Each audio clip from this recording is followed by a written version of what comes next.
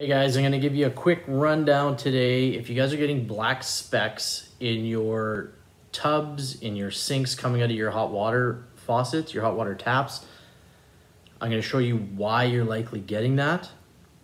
Uh, so let's cut to the video and if you stay till the end, I'll show you what tools you need to help you repair that and fix it on your own instead of calling a plumber.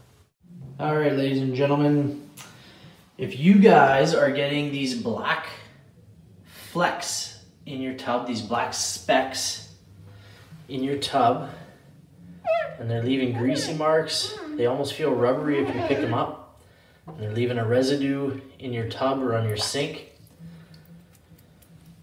uh, I have the solution for you. So I'm going to take you downstairs into the basement to the hot water tank and I'll show you what the issue is. I will give you warning that when I took this problem, I went to Home Depot. They told me that it was my hot water tank that needed replacing. I knew that wasn't the case. Uh, just so you guys don't get caught buying a new hot water tank when you don't have to, I'll take you downstairs. I'll show you what the flecks are from, and uh, you won't have the issue anymore. I'm in my furnace room. This is my hot water tank. You can see I have these right here coming up and tying into the, the copper. So the inside of this, where are we here? The inside of these have a rubber lining and that's what's breaking down and coming through your, your hot water taps and causing those little flecks. So that's what you need to fix. You need to pull those off and, and replace them with new ones. I'm gonna pull them off, I'll cut them open. I'll show you what's on the inside just so you guys know, but that's that's your problem. So I've cut this open.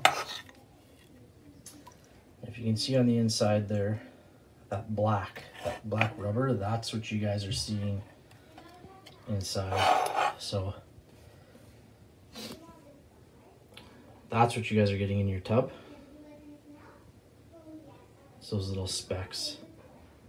So you replace this tube right here and you will fix your problem of black specks coming out of your hot water tank. Hey guys, I hope that video was helpful. I'm gonna show you guys what you'll likely need to fix yours.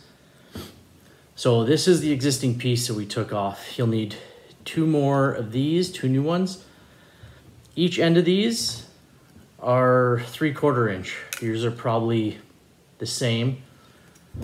What you'll also need is this little SharkBite tool. So those teeth inside there are the SharkBite. You click this onto your pipe, you push down, and that'll release that from your copper piping. And then you'll need a crescent wrench as well to get this off, which is attached to your water tank. This piece is about 10 bucks. These pieces are about 10 bucks each.